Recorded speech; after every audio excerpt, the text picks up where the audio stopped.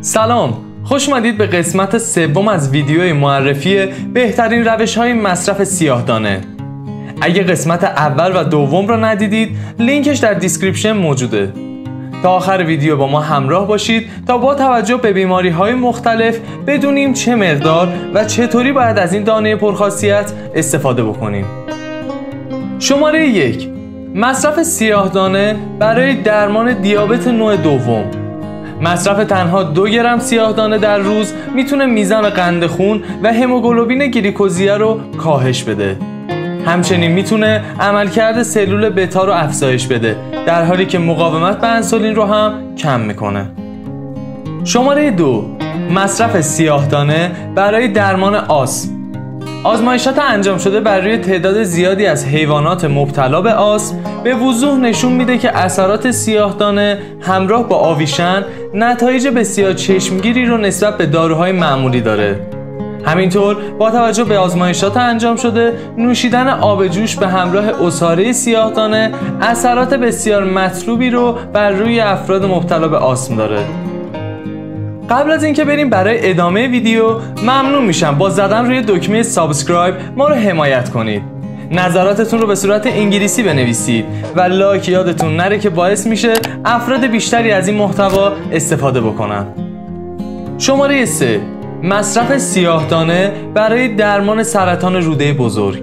این سرطان رشد کرده رو میشه با استفاده از اصاره سیاهدانه به راحتی متوقف کرد.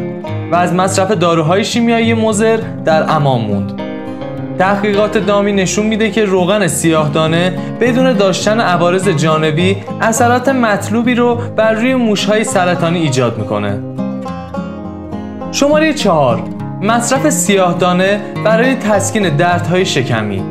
خانم های بارداری که در روزهای پایانی دوران بارداری قرار دارند و منتظر متولد شدن فرزند عزیزشونن با شروع دردهای شکمی یا دردهای زایمان می‌تونن از ترکیب سیاهدانه و اصل برای کنترل درد، افزایش مقاومت و توان بدنشون استفاده بکنن.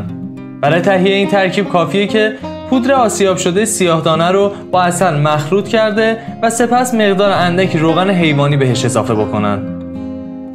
شماره 5 مصرف سیاهدانه برای درمان ناراحتی های کبدی مقداری از پودر سیاهدانه رو با گیاه آلوورا و اصل مخلوط کنید و هر روز صبح ناشتا به مدت 7 روز یک قاشق مرباخوری میل کنید همینطور می‌تونید روغن سیاهدانه رو که در حال جوشیدنه با گنچه برگ های بید مخلوط کرده و پیش از خواب یک قاشق مرباخوری ازش رو به مدت یک هفته میل کنید.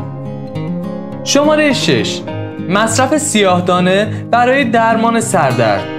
نصف قاشق سیاهدانی آسیاب شده رو با نصف قاشق انیسون و سه تکه میخک کوبیده شده مخلوط کنید و با یک لیوان شیر بجوشونید. بهتره که کمی اصل هم بهش اضافه بکنید. یک فنجان از این مجون دارویی رو می‌تونید در هنگام شروع سردرد و میگرن بنوشید. همینطور می‌تونید با روغن سیاهدانه گیجگاه و شقیقتون رو چرب کنید تا از سردرد خلاص بشید. تشکر می‌کنم از تمام کسانی که این ویدیو رو تماشا کردن هر جای دنیا که هستید سلامت و تندرست باشید